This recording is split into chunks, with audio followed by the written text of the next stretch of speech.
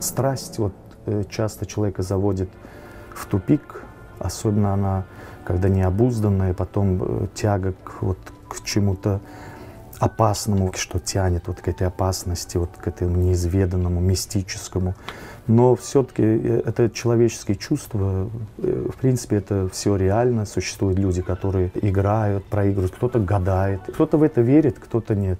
Поэтому это э, прежде всего, конечно, человеческие чувства.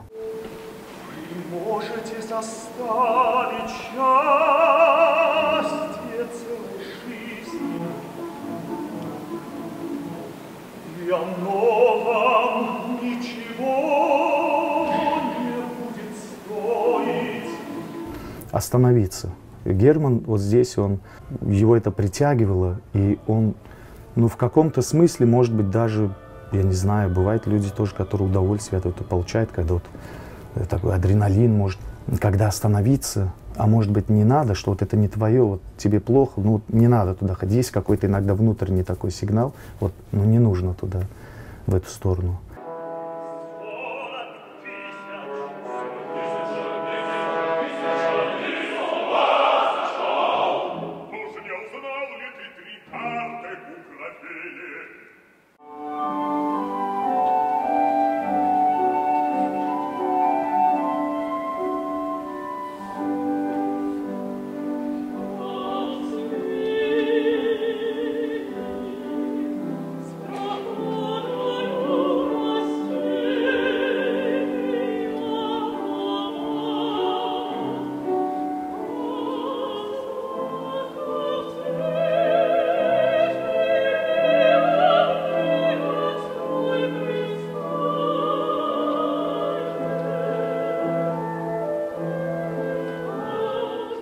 Всегда я ориентируюсь на не, на- не- настолько на сколько постановку. Постановку это, ну как бы, это ну, как место, куда тебя вкидывают.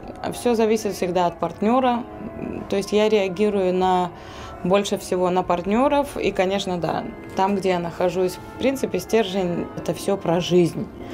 А с какой стороны ты посмотришь на эту жизнь? Про любовь, это про карты, про смерть. Ну, это, это может быть миллиард версий. У меня с Лизой так получается, что я, в принципе, постоянно влетаю в какие-то спектакли. Вот единственная постановка я в Вильнюсе делала с мамой вместе, но э, да, она как бы, она вроде и давно, но как бы я ее очень редко пою, и она такая у меня, да.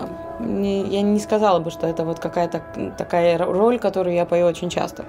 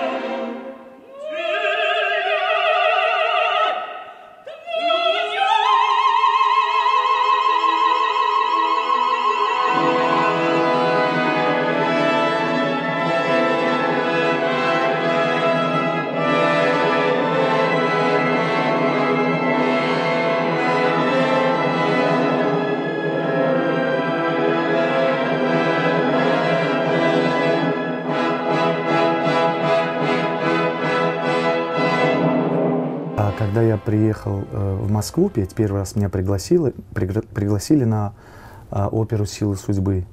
И первую запись как раз я послушал, именно пел, но в редакции Санкт-Петербург. Гигант Григорян, я был настолько восхищен. Но мы с ним лично не встречались никогда. Вот, но по записям я слушал, и вот именно так познакомились. Я был восхищен. Великолепно. Как раз э, спектакль Мариинского театра. Это высший пилотаж, настоящий, настоящий мастер, э, просто ну, выдающийся певец, вот один из самых лучших в мире, которых я слышал.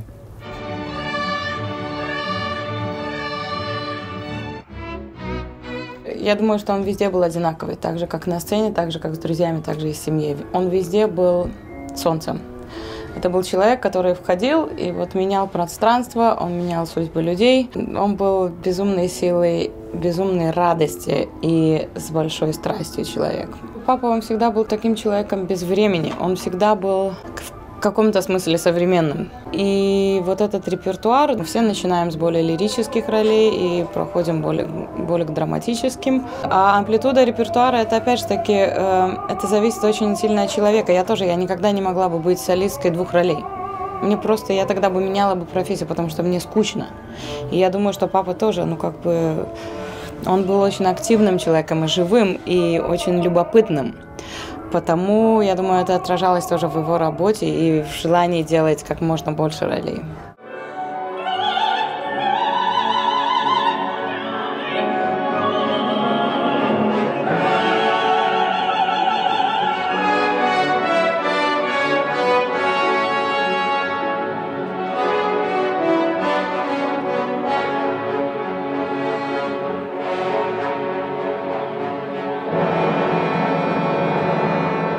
Но один человек, как говорил Шаляпин, контролирует. Обязательно должен быть контроль.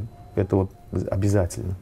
Другой исполняет на сцене. Ну, как бы держать, вот, чтобы ты мог контролировать, потому что даже в спорте, да где угодно, если контроль теряешь, то ты можешь э, ну, перетрудиться, я не знаю как. Э, те же самые мышцы, э, как это называется, надорваться, что ли, я не знаю. Но здесь то же самое, контроль обязательно.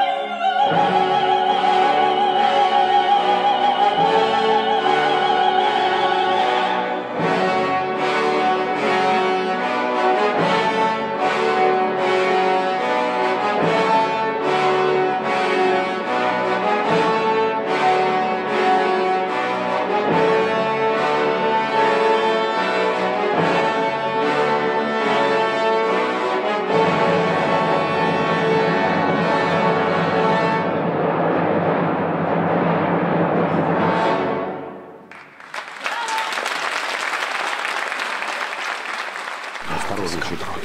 Контроль, вот я говорю. Здесь ну, золотая середина. Осторожно, да, да, да, потом да. дать. Ой, слава Молодец. Спасибо, Миш, спасибо.